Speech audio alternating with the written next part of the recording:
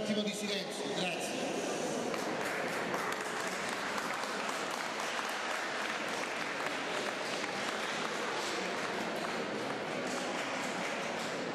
Inizierò con alcuni saluti e ringraziamenti doverosi e sentiti ovviamente. Allora un caro, un caro, un carissimo saluto a tutti voi dal profondo del cuore. Un abbraccio affettuoso e di amicizia a tutti coloro che sono venuti qui a stare con noi a passare questa bellissima giornata. Comincio con l'ASL organizzatore del, di questo evento, i colleghi che sono venuti qui da Como, il dottore Antinozzi che vi manda i suoi saluti, non, non ha potuto venire per problemi familiari, e poi le associazioni. Le associazioni che hanno dato un contributo determinante perché la giornata riuscisse in questo modo.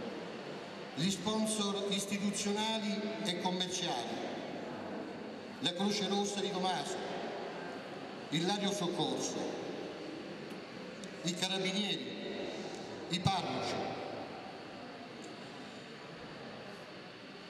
Senza di loro, senza i comuni, senza la comunità montana, che hanno dato un contributo fattivo, oltre allo sponsor, ma anche sostanziale, non avremmo potuto fare questa giornata.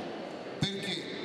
Eh, praticamente con un abbattimento dei costi che noi abbiamo avuto siamo riusciti a contenerli e quindi a godere di questa giornata meravigliosa.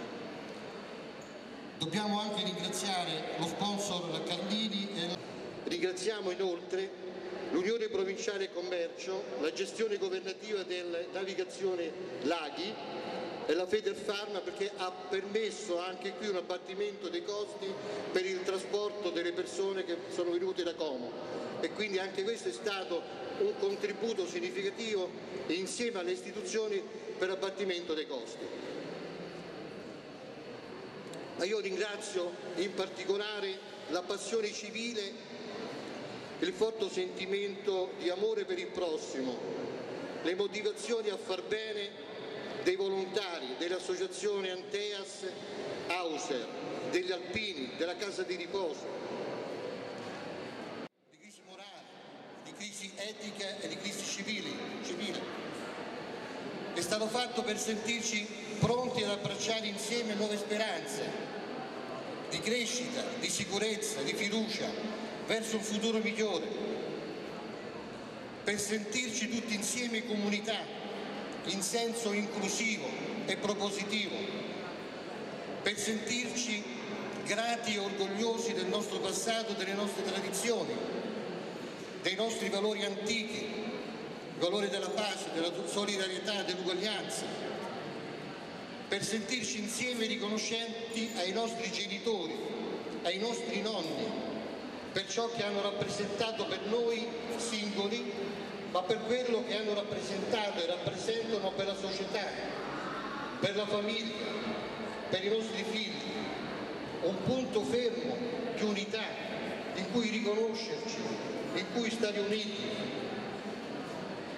per sentirci ancora forti con i nostri nonni che esprimono la loro forza attraverso la storia, in un mondo globalizzato in cui la famiglia purtroppo è implosa. Ringrazio altresì tutti coloro che hanno esposto le loro invenzioni, le loro capacità, le loro conoscenze attraverso sia l'immagine qui della fotografia che queste opere che potete ammirare in legno, sia l'espositore di questa gigantografia che è un network che praticamente si muove in alto radio e che riconosce nelle persone di, del geometra Arturo Mancini e dell'ingegner Parenti Luca i promotori e coloro che hanno inventato e fatto queste cose importanti. Anche qui potete ritirare poi magari all'ingresso eh, i siti su cui collegarvi per questo tipo di discorso in rete che si sta costruendo in alto radio, che vede tra queste due persone che ho citato uno uno dei tanti promotori. Detto questo, darò la parola a chi più di me ha titolo eh, per, per, farlo in questo, in questo senso, sia per quanto riguarda l'istituzione, per quanto riguarda il contenuto della giornata. Non dimentichiamoci che noi stiamo promuovendo degli stili di vita importanti per la lotta contro le patologie, contro la disabilità, contro la cronicità e contro la non autosufficienza. Quindi è un sistema di eh, valori dal punto di vista scientifico che noi proponiamo per oggi l'abbiamo già fatto, ma per costruire nel futuro, tutti i giorni fare queste cose. Quindi la lotta alla sedentarietà in particolare.